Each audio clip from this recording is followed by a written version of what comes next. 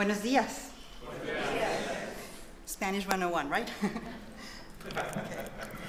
uh, let me start with this quote. Let's see if I can do this right. I dreamed, and behold, I saw a girl.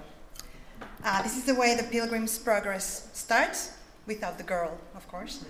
Uh, but this, this book has always been important in my life. My mother read it to me when I was a little girl. I have read it to my children now. I've seen the movies. I've read different versions. Uh, there's a very cute new version with uh, bunnies. I don't know if you've seen it. John showed it to me. So uh, I think one of the reasons I really like this book is because it portrays life as a journey where there's change, where there are mountains, hills, valleys, good days, bad days, and constant movement. And somehow my life has been like that. So as I share my journey with you through some of the symbols of this allegory, I just hope to encourage you as I um, speak about what God has done in my life. And of course, it all started in the city of destruction, a place where there's no hope, where there's no meaning, uh, where we feel empty inside. And I was very blessed to uh, being brought in a Christian family. So I met Jesus when I was eight years old, more or less. Uh, I decided to follow Jesus.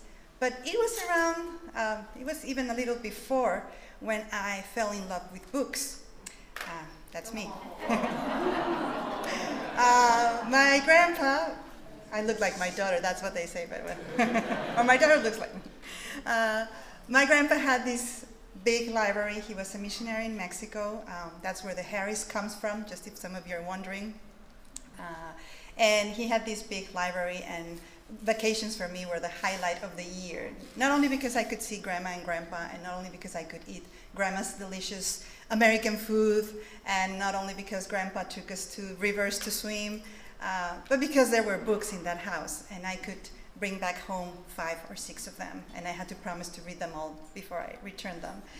Uh, and then I met the book, right? The book that changed my life, and it was Little Women. That's what worked for me.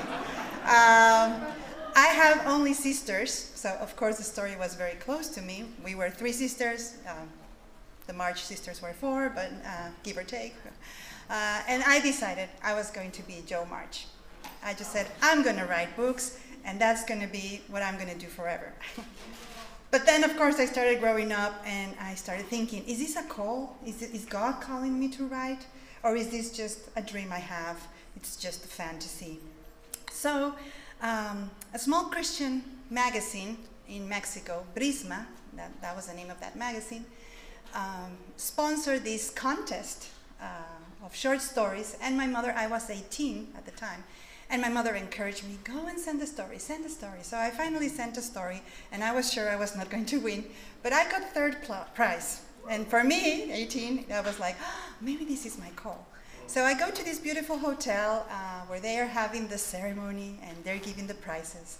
And I received my prize, which came in an envelope, uh, white envelope. And the first thing I did, of course, was to open the, the envelope and see cash inside.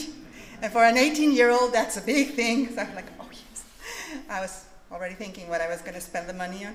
But then I saw, I saw the label on uh, the envelope, and it was not exactly this one, because this is the new one, but it said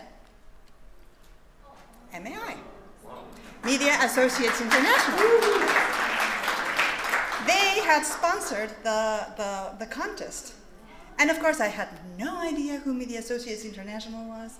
Uh, I remember, because I'm not very clear, there were two American men at hotel breakfast, and one of them was very tall, and the other was not so tall, so it was John Maust and Bob Rickey. Um, but that day I just went, got my prize, went home, right? Uh, but I, I uh, very soon, I have to be honest, very soon I fell into the Slough of Despond, this marshy place, this muddy place that Christian uh, experiences when he's leaving the city of destruction. Because winning a contest doesn't mean you're going to be a published writer uh, or that you're going to continue writing. So I started feeling very um, disappointed. I was 18, so I was studying education. That's what I do for a living. I'm a teacher. but I really wanted to write. But just like in the Pilgrim's Progress, I received help. Um, help as a character in the Pilgrim's Progress, but help in a general way. And that help came from this beautiful lady. Uh, her name is Liz Isais. Uh, she's now in heaven. She, she was the editor and the publisher of this magazine who had sponsored the, the contest. And she, um, I, I called her, an 18 year old, my hand was shaking, they were the old phones, you know, dialing. uh, and then um, I go like, I would like to talk to you about writing. And then she told me, oh, chula, because that was her word. For those who, who know her, that was her word. Uh, it's like, dear, dearie, uh, oh, dearie, well, come to my office. And that was the beginning of the, one of the best seasons of my life. Just being trained by this wonderful woman. I worked for her only one year and a half, but I learned, I think, what I would have learned in a university for five or six years. Um, she mentored me, she guided me, she taught me everything I had to know about punctuation, which I had no idea at the time, right? Um, her way of correcting was using the beautiful red ink uh, that some of us editors have changed to comments now on Google Docs, right? It's how it's not red anymore, it's Google Comments. And well, I don't think the writers feel very excited about that either, but uh, she was just a great help. But I still, still felt there was something missing. I was writing for the magazine, I was writing testimonies, articles, but there was something missing. I really wanted to publish fiction. And I told her, I have a very small novel that I don't think I don't think it's very good, but can you take a look at it? And she said, sure. So I brought my 80 type written pages. Um, not very good at the computer in those times. I think I, we actually didn't get our computer until later, but I, I went with my bunch of pa uh, papers, and she only checked the first page. And she said, Remember everything we've been talking about punctuation? And I said, Yes. then she told me, Then go, fix the whole thing, and then I will read it. Um, yeah, she was very, very strict. I mean, those who knew her won't let me lie. So I had two options obey or disobey, right? Do it or not. So I said, okay, I'll do it because she was right. I had no idea how to use dialogue. Uh, so I um, repeated the whole thing, went back, and she told me, yes, this is a good story and we're going to publish it. And so that was my first book ever Los Guerreros de la Luz, The Warriors of Light. This is the, the first book. Then there was a second book, uh, La Fortaleza, because kids wanted more. And now, this year, by God's grace, we'll have the third part, which Jose Carlos is illustrating. And I'm going to give you a sneak peek of his wonderful illustrations. So that's how the book is going to look inside. He's working hard, but he's in LittWorld, so I don't know how he's working right, now. He's working hard on finishing the illustrations for the third book which is coming this year. But uh, I was still carrying a burden. I, I, um, I'm sorry, Jose Carlos. He wants to take a picture. And because we are Mexican, we have to stand for each other. okay, so uh, I was still carrying a burden. Uh, I have to recognize I was still carrying a burden. It was the burden of expectations, of how my writing life was going to be. And of course, young woman, 20s, um, my big dream was the bestsellers, you know. Uh, for those who speak Spanish, it was El Premio Alfaguara. Uh, that was like my objective in life. But all these expectations made me very tired because, you know, when you write for Jesus, it's not very easy. Writing for Jesus is not easy. And it is then when in 2000 I went to my first LittWorld, it was held in England. And I saw a lot of uh, known faith. I mean, I don't want to tell anybody's age. it was in 2000, and some of you were there. Uh, and I remember I was one of the 20 year old girls there, very shy. I usually sat at the very back. No, no, I'm not saying anything about people who are sitting in the back, okay? But I was sitting in the back, feeling very shy. Fortunately, God sent me two other newbies, and then we were a trio, and that was Ina Reyes from the Philippines, and it was Wambura from Kenya. And so the three of us were like, we didn't know what to do, how to interact with people, but we learned together. And what I remember the most from LittWorld 2000 was Robin Jones, uh, Robin Jones Gunn's workshop, where she told us, you need a life verse to guide your writing. And that in LittWorld 2000, I asked God for that verse. It didn't come immediately, it came a couple of years later. Uh, but one day I was reading the Bible and uh, I was reading Psalm 40 and I found this verse, Psalm 40:10. I have not kept the good news of your justice hidden in my heart. I have published about your faithfulness and saving power. I have told everyone in the great assembly of your unfailing love and faithfulness. And let me tell you why this was such an important verse for me. Uh, in the, when I returned from LittWorld, I received an invitation to work for a publishing house, a non Christian uh, uh, publishing house, that uh, their main um, the, their main trend was uh, self-help books. And they told me you can write about anything you want and we're going to pay you all this money. And there were two things i was kind of unsure. The first one was that i was going to be a ghost writer so i was writing for someone else and that person was you know, having his name on the cover. But I was okay with that when I saw the numbers, you know. the. I, I was like okay with that. But the second thing, I was not okay with that because they told me, you can mention God. Of course, this is a self help book. Please mention God. Just never, ever, ever mention Jesus. And that's when I was like, oh, I, I'm not, I'm just not sure what to do. I needed to make a decision. And this verse, this verse totally set my track if I cannot publish or if I cannot talk or if I cannot declare about God's faithfulness and saving power, then I'm not writing. And of course, I cannot talk about God's saving power without mentioning Jesus. It's just impossible. So I said no, and then there was silence in my publishing life. But it was good. It was good because the burden was removed. I was free from, from that need of uh, knowing what I was going to write about. I knew I was going to write about God. Um, so I just want to encourage you if you don't have a life verse yet, that might be a good thing to ask God today to give you the clarity of what He wants you to write about. And uh, I found this beautiful uh, prayer by Robin Lee Hatcher. She's uh, a Christian fiction writer. And she says, Lord, we surrender our writing to you today. It is you who gave us our gifts, our talents, in order to serve you. Our writing doesn't belong to us. It is yours to do with as you will. Help us to hold it in an open hand and to be ready to say yes to you, no matter where you call us. So that was my moment in the cross. But then the journey, if you remember the Pilgrim's Progress, the journey goes on. And I want to tell you about two beautiful places that the journey might take you, and four difficult places the journey might lead you to.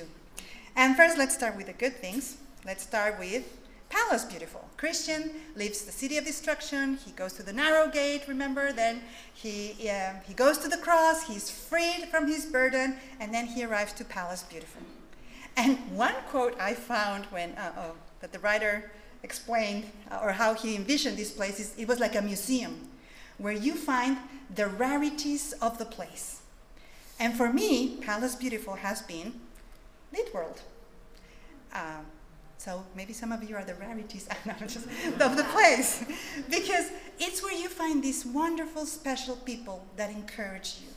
And for me, LittWorld has not only been a place where I have been able to grow and to be trained, but to meet people like me and to be encouraged. Like I was not the only writer feeling insecure. Sometimes you go and you're having breakfast with another very insecure writer, and you're like, oh. Uh, and I don't remember if you remember C.S. Lewis describing friendship like that. It's finding the connection of the, oh, you too? Right? And so this is a place where we find people like that.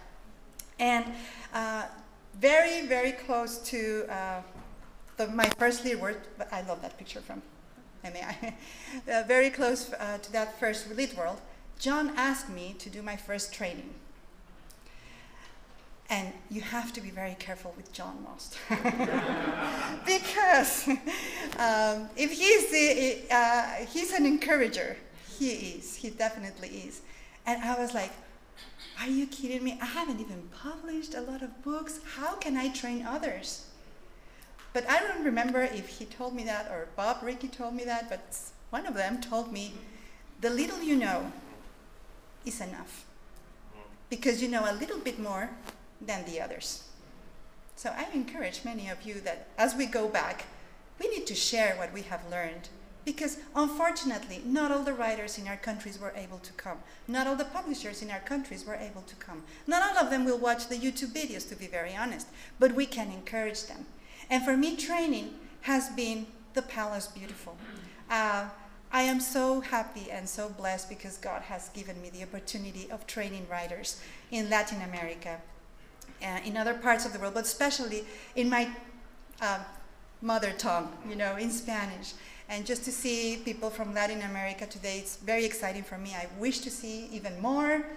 But if you're in the Palace Beautiful right now, and I think we are, when we go back, let's share with others. Let's not shy away from training because training comes in many ways.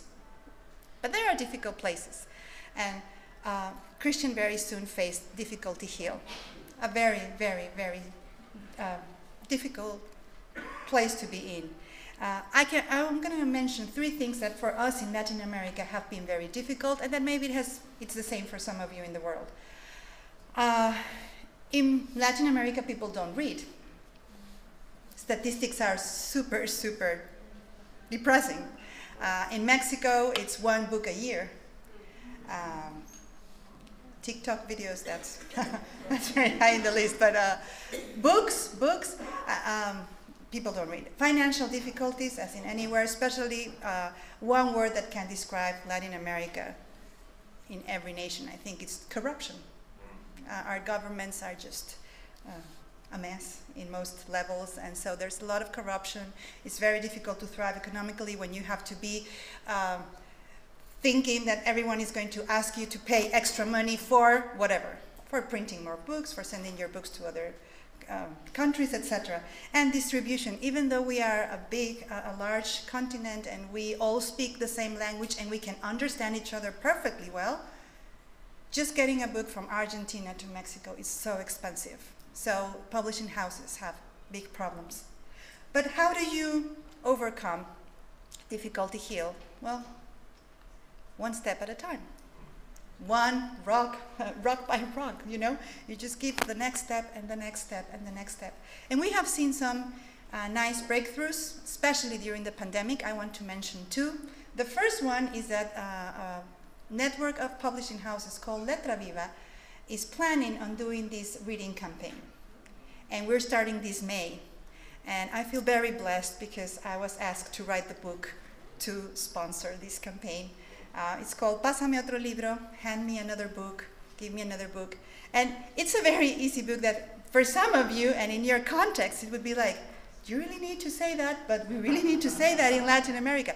Why should we read? Why is it good for you to read you know? Uh, why should you read to your children before they go to bed? Because in latin america that's not part of the culture. So uh, we're hoping to encourage people especially christians to read and buy more christian books and become a church that reads. And the second thing that has been good in this pandemic is that a lot of publishing houses especially the small ones are uh, putting their books on kindle on uh, platforms. And so that helps with distribution. So uh, my Argentinian readers um, can read my books, even if it's just a PDF or, or, or through Amazon. But there's a second place that's very dangerous and that I've been there many times, and it's Vanity Fair. Probably you remember this also from the Pilgrim's Progress. Uh, now, Vanity Fair is a very special place to be in because it's the only one that invites you to stay there. Like nobody would think about staying in Difficulty Hill, right? Nobody would think of staying in the Valley of Humiliation. But Vanity Fair seems like a nice, cozy place where you can even, you know, have a house, a small apartment, and get by. Uh, and it might look different for everyone in this room. For me, it looks now, this is my confession, Nicholas.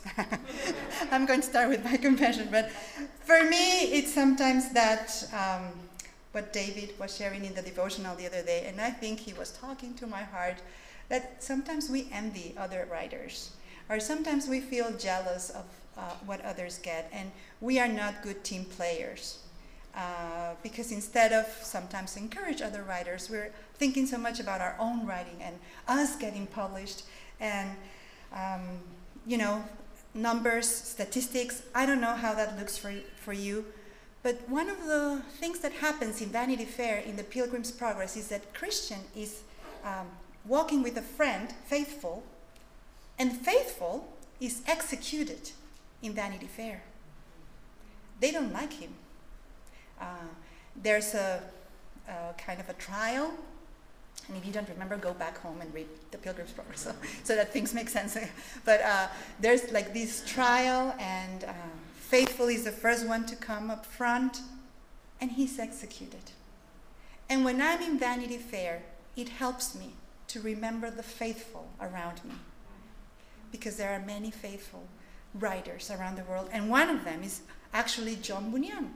I mean, when he was alive, he was not in the bestseller lists. Although today his book is one of the most widely read in the world. But he didn't get to see that. He didn't get to see the movies. He didn't get to see the new children's versions. He was faithful. So when you're, dis- um, when you're discouraged, when you're struggling, remember the faithful. And I have three faithful men to show you right now from Latin America who have been very inspirational to me. Uh, one of them, of course, uh, the lady, Liz Isais. She's, she's very important, but I wanted just to mention three that have been key in my, uh, in my walk as a writer and the first one is Rene Padilla. He's now in heaven, enjoying time with the Lord and with his wife. Uh, and I remember him from LittWorld 2008 in Brazil, uh, sitting down with me to have lunch and telling me about all these no- wonderful novels he loved to read, and telling me, never stop writing fiction, even though nobody publishes you. You need to keep writing fiction. And I was like, oh, here is this ooh, theologian, you know, because, I mean, his mind was way above mine, uh, but encouraging me. And he was faithful. He was faithful. He ran the good race. The other one is, I don't know if some of you got to meet him, um, John did. He had like four pen names Luis de Salem, but his name was Aristómeno Porras. Uh, he wrote a, a weekly newspaper uh, column in one of the most important newspapers in Mexico. He was from Colombia, but he lived in Mexico, and he wrote poetry. And he wrote li- these little extracts of the Bible of, the Bible of Christopher Columbus, the Bible of Hernan Cortes, the Bible of, and he tried to show how our Latin American characters were influenced by the Bible somehow. Simon Bolivar. So he had this beautiful section in the newspaper that a lot of people read, and he was the most humble man I've ever met. Uh, we went to have breakfast uh, from time to time with Mrs. Mrs. Isais. We went to his house, and he would sit and he would say, Do you want to listen to a poem? And we would be like, Sure. And he would just say a poem in Spanish, one of the classics. And um, he was faithful. And the last one, he's even less known. That's my grandpa. yeah. Um, I think he, he just marked my life in so many ways. So, you who are grandparents, you don't know how much influence you can have on your grandchildren, really, believe me. Because for me, he was uh, a hero because I saw his faithfulness. He was faithful in the little things. He wrote many books that nobody knows. He wrote it just for the group of churches he was in. Uh, but he was also uh, a person that I can say, I can say without erring, that he was faithful in the little things. Because I lived, uh, I mean, we spent life together. Uh, I am encouraged by the faithful around me. Think about who are the faith- faithful around you that you can be encouraged when you are in Vanity Fair. But let's move on. There's also the valley of humiliation horrible place to be, right? Um, but it's such a necessary part of the road. When Christian met here the enemy, that's when he really fought against the enemy, literally. Apollyon, the monster who wanted to destroy him. Uh, the, the monster, the Apollyon, tells him, I want you dead. I mean, this was not easy warfare, it was direct warfare. And he says, um, um, he tells him all these lies of, You are mine. You were in the city of destruction. You're mine. You're not of this new king that you're talking about. Have you seen this new king? So he, he, he gives Christian all these doubts. And um, I think we've all been here. We have been mortally wounded many times by words, by what the enemy whispers to our ears.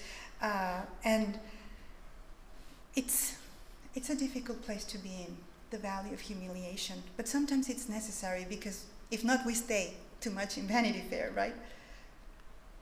But remember, we have received an armor.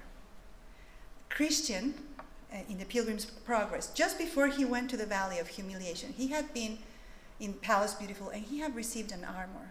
And we have too.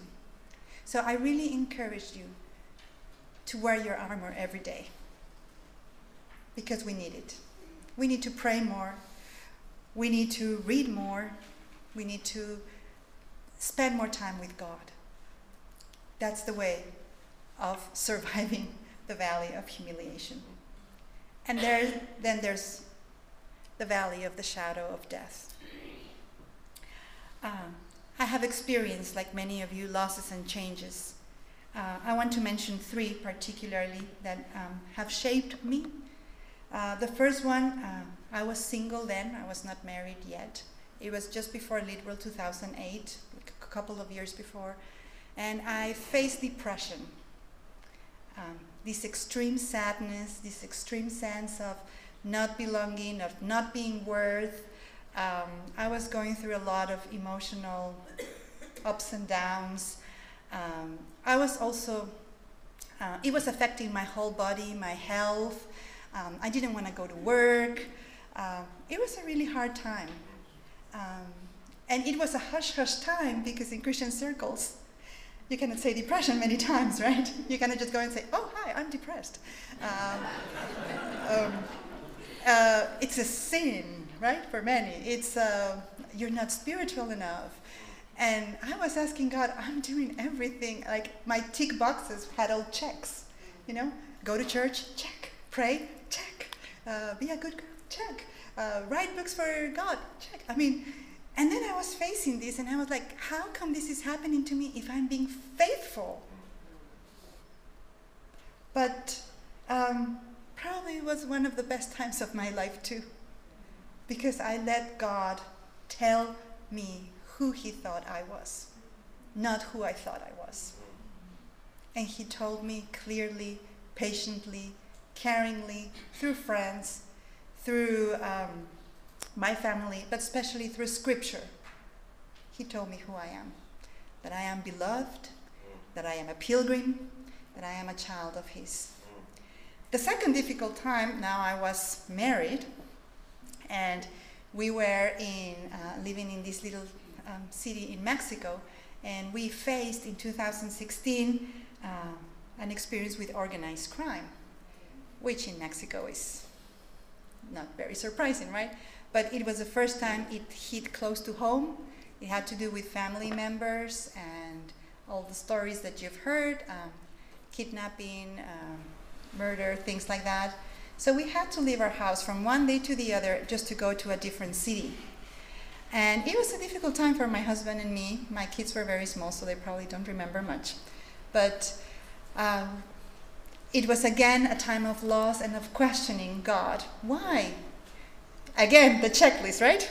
we're serving you. Yeah, we're uh, good Christians. Yeah. So why are you moving us? And in such a difficult way? Because, of course, it was very painful and very emotional. But uh, again, it was a good time because God showed my husband and I what was next, and it was ministry.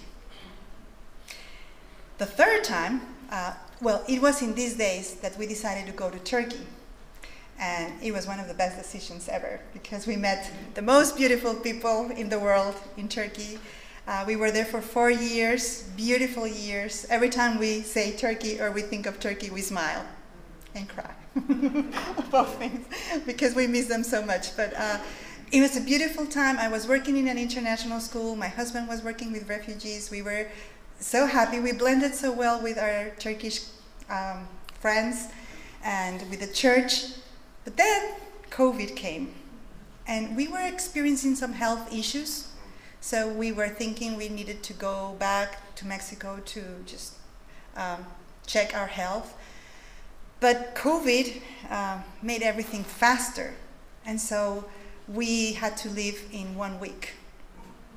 In one week because the flights were being canceled and canceled and canceled and canceled and canceled. So if we didn't catch the next flight, we were just going to be uh, not able to go to Mexico at all. And, and nobody knew then when airports were going to be opened again. So we just packed uh, four suitcases. Uh, each one, uh, each member of the family had a suitcase. We filled it up. Uh, I just have to tell you this story. I know she's not going to be happy with me, but when we arrived to Mexico, we opened my daughter's suitcase, and guess what? There were no clothes. it was full of teddy bears and stuffed animals. but all the Winnie Pooh family came to Mexico, so we were happy about that. So, yeah.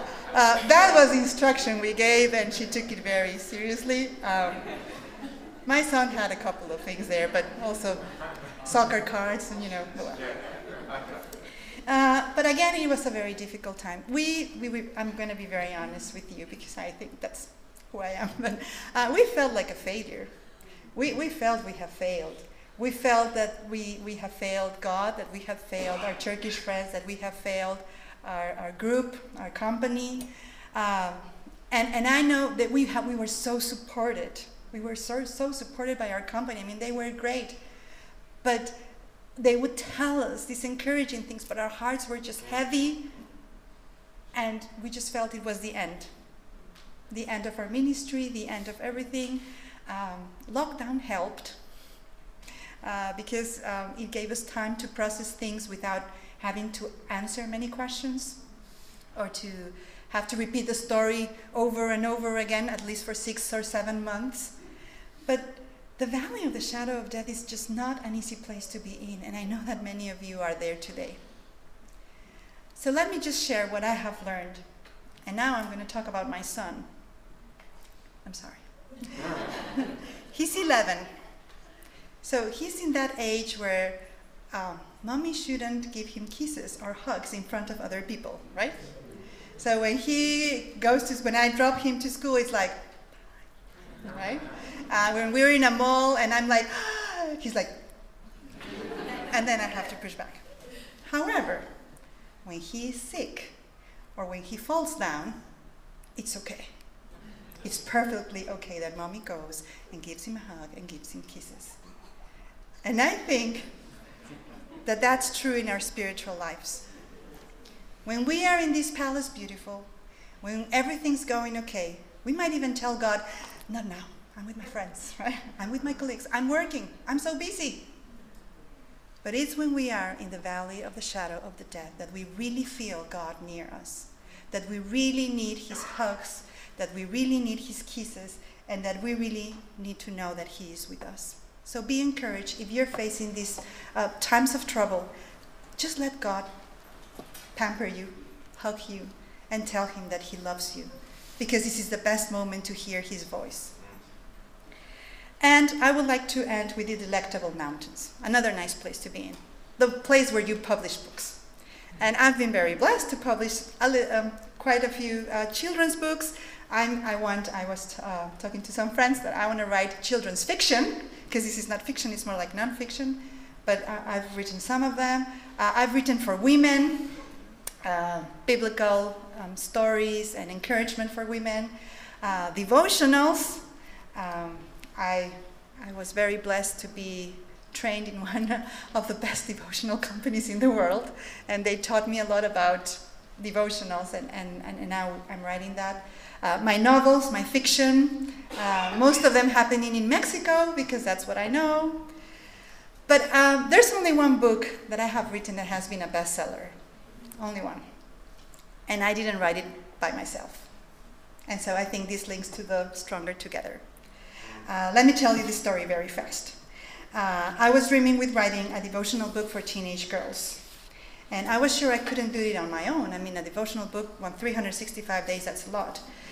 And it was the, the time of the blogs. I don't know if you remember. Everybody was writing a blog, and you were checking everybody's blogs. And, and there was a wonderful friend I don't even remember how we met, and I needed I didn't double check that before the conference. But uh, I was reading all the time Margie's uh, blog. She's here.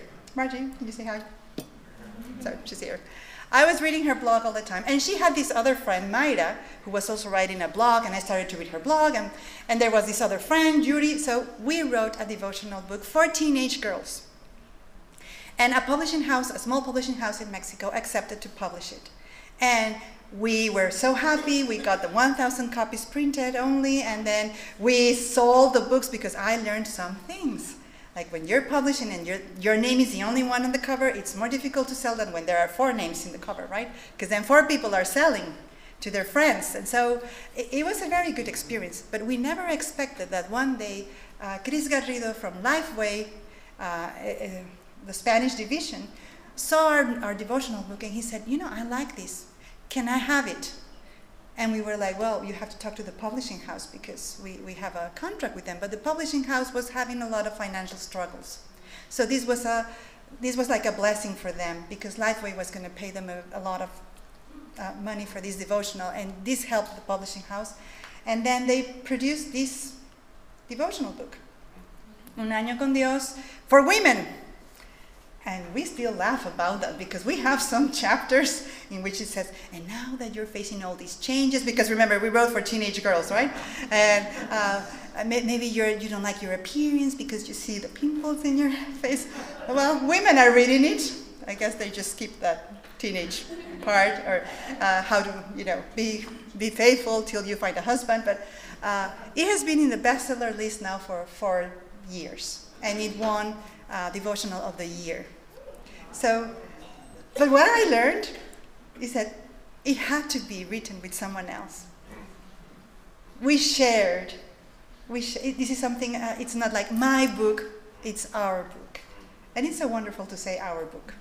It's such a. And then when I was in Turkey, I had another experience, and it was a. Uh, I thought I was not going to write anymore, and in Turkish, well, my Turkish is not good at all. But one day uh, I was praying and I was asking God, how can I help the writers in Turkey? I don't even know anyone who writes in Turkey. And then a friend tells me, Did you know that this teacher in, in the school um, helps a publishing house? And I'm like, No. And do you know that she is the, actually the one who copy edits everything and is the editor and her Turkish is perfect? I was like, No. And who is she? And she was my colleague in the homeroom. We were working together with eighth grade. And so I go to her and I tell the students, okay, uh, talk about what you're going to do next weekend. You know, I'm like, yeah. Uh, and I go like, Derya, I really didn't know you wanted to write. And then two months later, another friend tells me, you know, there's, a, there's this wonderful lady in my church that wants to write and she wants to write children's books. Could you meet her? And I'm like, sure, let's go to IKEA. Because that was the closest place to my school, right? and so I met Fulya there and they will tell the story now. But they wrote a devotional book. Um, I was just the one who connected them. But I would like them to come and tell you about this book.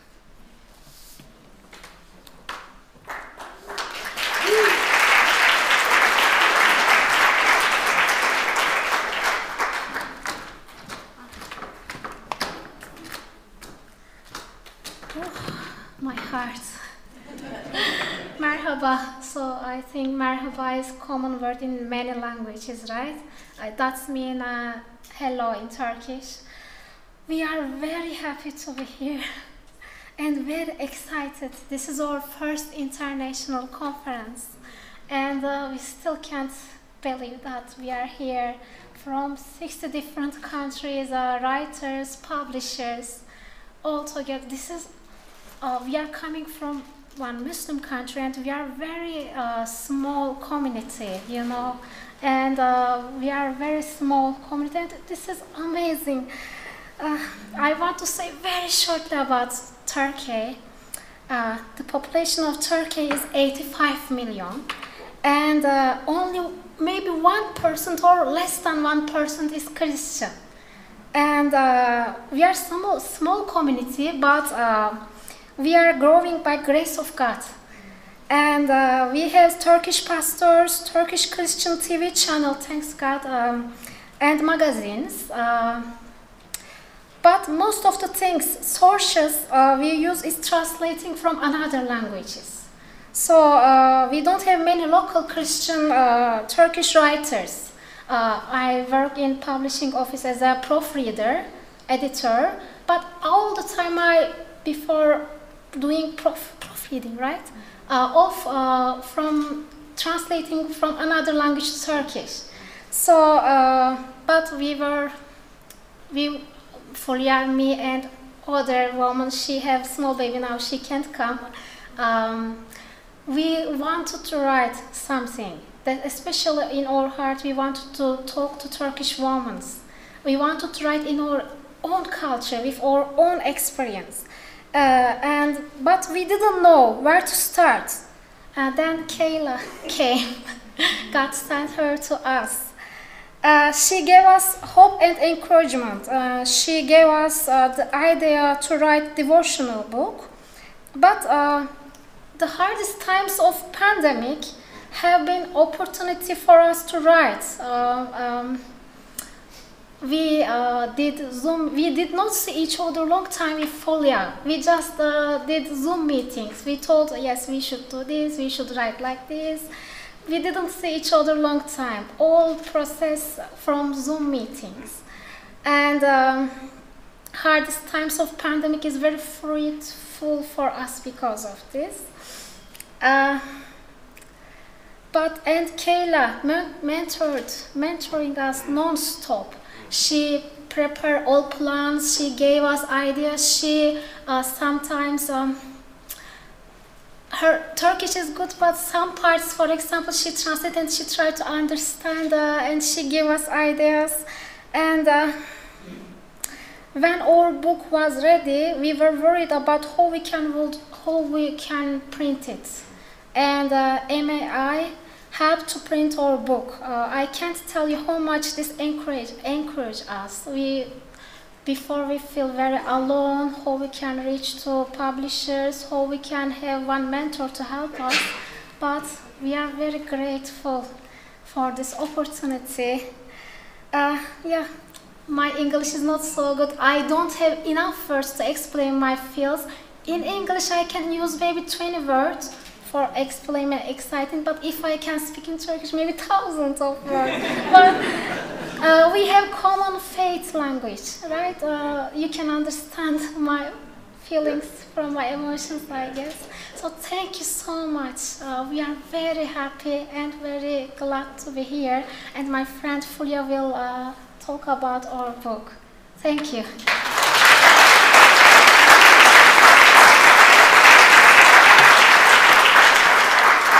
Hello, uh, I'm Fulya. Uh, I'm also very excited. Uh, same, uh, I agree with uh, Derya. If I will talk in Turkish, uh, you should have to stop me. but I'm really happy to be here with you. Maybe you don't know how to it mean to me because I haven't seen such a, a big crowded writers, editors, publishers who has the same heart. Um, I'm really thankful for Keila and MAI Europe who supported us because yes, we have a desire to write, but we didn't know how to start, how to write. As a woman, uh, being a woman is not easy, um, especially in our country. There are very less writers, women writers, and so she lead us. She uh, encouraged us. You can do it. She gave us an idea and so we write uh, we wrote this book. Uh, it's about uh, proverbs 31 10 31 about a virtuous woman. Um, we didn't know each other Derya Özlemen uh, so during the pandemic we made as, as Derya said um, zoom meetings. And in these meetings we uh, shared our testimonies. We know each other's lives shared. And when we read these verses we thought that it's about a perfect woman. So how can we encourage the other woman? Because she has a perfect life. She looks very perfect. So it can be discouraged to the woman because we can't be like her. So during this journey, we learned a lot of things from God. I learned who, uh, what the meaning of being a woman in God's eyes. Because, yes, in the world, they, uh, some uh, things or sees us woman is weak. But God sees our, we are strong. So we discovered it. So uh, we learned that God uh, doesn't ask to be uh, perfect. He loves us who we are. Amen. Uh, his love is perfect, and His love covers everything. And then we uh, wrote what God touched in our hearts. Um, each day, a verse, uh, and then ask deep questions to the ladies. So make them think deeply, ask themselves, question their lives, their lives with God. Because God wants us only walk with Him then He does everything for us. So we found out our identity. We found our worthy. So we want to share this to other women uh, because we feel sometimes unworthy. Because during the pandemic, violence against the women increased. So we, ha- we had heart for women. Someone do something for them because they also um, grow up the children, new generation. So if they are hopeless, how can they uh, give their children hope? So we want to give the women hope. There is a hope. So this book also not for only Christian women. Uh, we also it can be read by the non-Christian because we shared our some experience. Some we gave some uh, samples from our lives. So someone read it, uh, mostly find uh, something near, close to their lives. They feel, I'm not alone. Yes, she lives same thing. If she overcome this problem, I can do it. So we, uh, we wanted to give them um, power and feel strong. So I'm so excited, but I just want to add something. Uh, it's very meaningful for me because it's a miracle to be here for me here because um, I came a Muslim background. I was not very religious Muslim, but if, a, uh, if I talk with a Christian, I become very religious Muslim, you know. I was very defensive. I heard the gospel many times, by, but I rejected it every time. And one day, I picked up the Bible and I decided to write a book against Christianity. I thought that I will read it. I found out the lies and um, the other things about in this book, so maybe it, it will be the big service to Muslims. I was thinking about this, and then I started to read, but something happened too. I, I didn't cut on, and a word touched my heart. And I didn't expect it, so make me think deeply and ask me to some questions and lead me to seek the God, uh, seek the truth. So change my life. And God changed my heart um, from the writing against the Christianity, you know. Now he uses me to uh, use his word to show uh, his love to the others with the words. So it is a miracle. So I think, I think what you wrote, just one word can change someone's life. Thank you. Amen.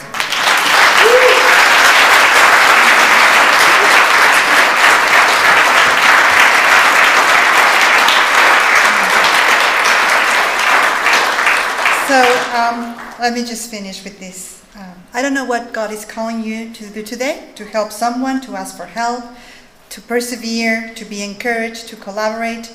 But we all say that LittWorld is like a little piece of heaven. So imagine how heaven will be, how the celestial city will, look like. Um, I don't know what the next part of your journey is, uh, but I do know something. We're getting closer every day to the celestial city. Uh, so, what a joy to know it's not my story, but his story. And what a privilege to be a small paragraph in his story. What a joy to be able to write a little bit about, about the supreme story. And what a privilege to be a sentence in your stories. Uh, Bunyan said, So I awoke, and behold, it was a dream. But it's not a dream, my friends. May God bless your journeys.